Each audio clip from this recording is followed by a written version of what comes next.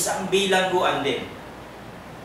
Ang aklat na ito'y pinaniniwalaan na isinulat sa kapanahunan ni Emperador Nero dito sa time na ito, uh, around 68 to 70 AD, diyan naglalaro lang yung time, bagamat wala ka namang mababasa. Kaya nga, dumami yung tinatawag na pangangaral. Malalakas yung nag-aral, malalakas ang loob ng nag-aral ng mga theolo theology para sabihin nilang siguradong sigurado kami na ito ay 89 to 90 AD. Wala namang ganun eh.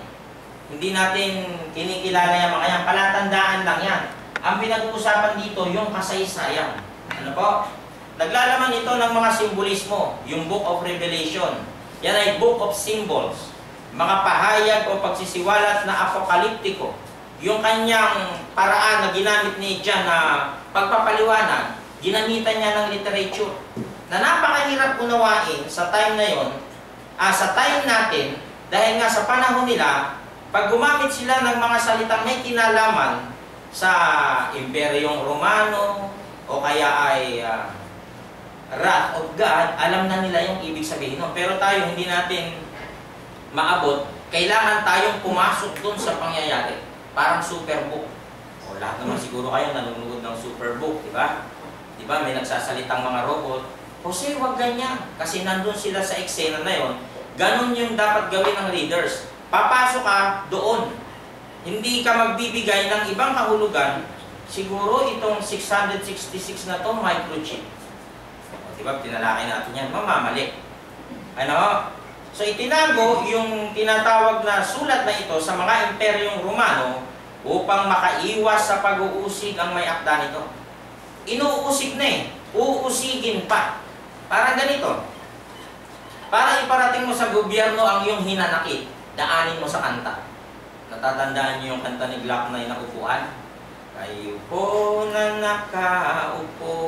O, ang tinutukoy, yung nasa Malacanang. Tama? Kasi may mga pag at may mga nangyayaring hindi karapat dapat. Hindi mo isusulat o sasabihin na kayo pong nasa Malacanang. Hindi ganon. Gamitan mo ng magandang tinatawag na literature para maintindihan ng tao na, na ang meaning ay nakatago.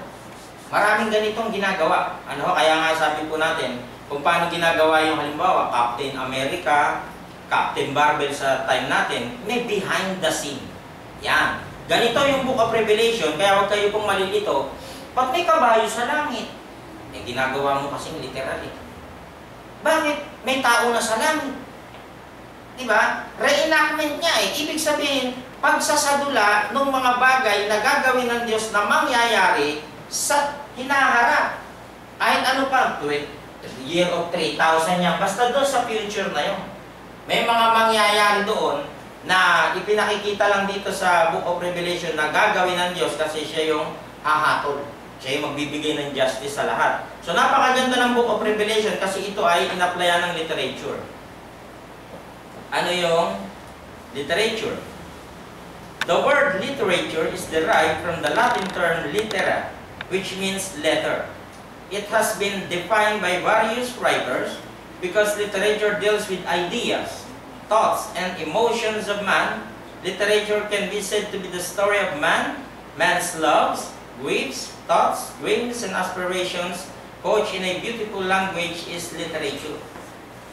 Paano ba paraan ng panliligaw dati? Parang ganito.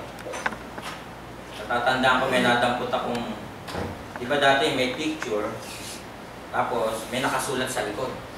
Ang nabasa ko yung sa lolo ko. Ano nakalagay?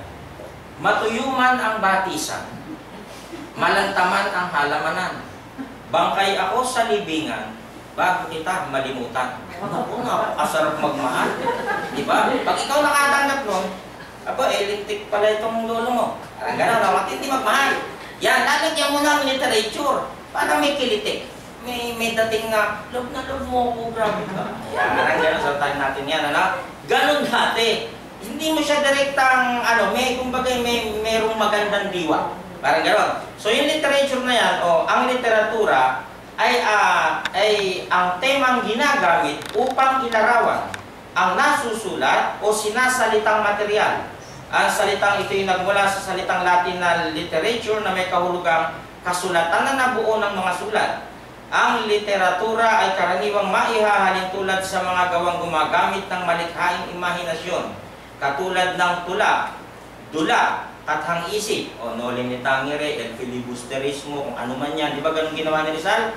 Kathang isip, hindi kathang isip, at minsan ay maihahalin tulad din ito sa pamamahayag at pag-awit. Yung pelikula na Evita ni Madonna, Don't Cry For Me Argentina, di ba? O, paano, paano sila nag-uusap? Kumakanta, naipit, aray! Di ba? Hindi aray, lagyan mo ng, di ba may ganun? So itong tinatawag na Book of Revelation, kaya sinasabi ng iba mahirap unawain, kasi nga may application ng literature. Huwag mong gagawing literal, malilito ka dyan. Merong mga tinatawag na literary devices na ginamit sa Book of Revelation. Ayan nga yung figures of speech. Metaphors, imagery, ang dami yung personification, irony, simile, symbolism, allegory, paradox, allusion. Kaya pag, in, pag nabasa mo, at nakita ko, sabi ni Juan, ang isang pulang babae. Papasok ngayon sa time natin, pulang babae, hindi kaya hostess yun. Mali. Diba? Mali. Bakit? Pasok ka dun sa liwa ng konsepto ng Bible para maintindihan. May mga ginamit si Juan na liter- literary devices para maitago doon sa pag-atake sa Roman Empire yung mga bagay na ah, magpapagulo sa isip nila. Matalino eh. Bakit? Galing sa Diyos. Techniques, literary devices, techniques the author uses to convey meaning, deliberate choices of language or construction.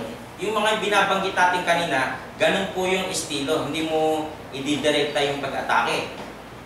Literary techniques are tools that an author may choose to use to enhance their writing and to convey meaning in a certain way. Figurative language and sound devices are examples of literary techniques. O yan, parang ganito. Susulat si John. Yung pangsulat, aba, may mode. Ano? Hyperbole, simile. Pagsulat niya, simile. Parang ganun eh. Di ba? Pero sample lang yan. So, pinapakita natin na yung Book of Revelation mayaman sa tinatawag na symbols at ah, literary devices. Ano po? Revelations chapter 20. Ito na po tayo ngayon. A thousand years. Ito na. Matapos yung pagkamatay ng ating Panginoong Yesus, dumaan sila sa Great Tribulation. At nag-end ang Great Tribulation doon sa time ng seven bowls of wrath of God, nakalagay doon kung paanong pinarusahan lahat. Tapos isinama rin sa chapter 18 yung mga pangyayari hanggang sa paghuli kay Satanas. Pagkatapos ng ah, 1,000 years at hindi siya literal, ano po, yung 1,000 years na yan, hindi siya literal na 1,000 years. Ibig sabihin, long period of time. Ano po, yung mangyayari dyan, dahil yung gospel nga, mula dito, hindi napigilan, kundi naipangaral hanggang sa kahuli-hulihang mga panahon natin ngayon sa last days. Tingnan niyo, daming nag-aaral pa rin ng Bible, maraming tumutuklas. Yung iba, tatatlong talata ang alam, pastor daw. Seryoso. Lalakas ng loob mag-interpret, di ba? Hindi gumagamit ng context. So ano tong a thousand years na ito? John's amazing vision in this section also includes the long-awaited coming of Jesus Christ. Ngayon, pinapakita na rito kung paanong may pag-asa yung mga taong nagtitiwala sa Diyos na pag kayo sumampalataya, bagamat kayo mamatay, magkakaroon kayo ng buhay na walang hanggang resurrection kasi sinampalatayanan nyo ang ating Panginoong Jesus na nag-resurrect from the dead.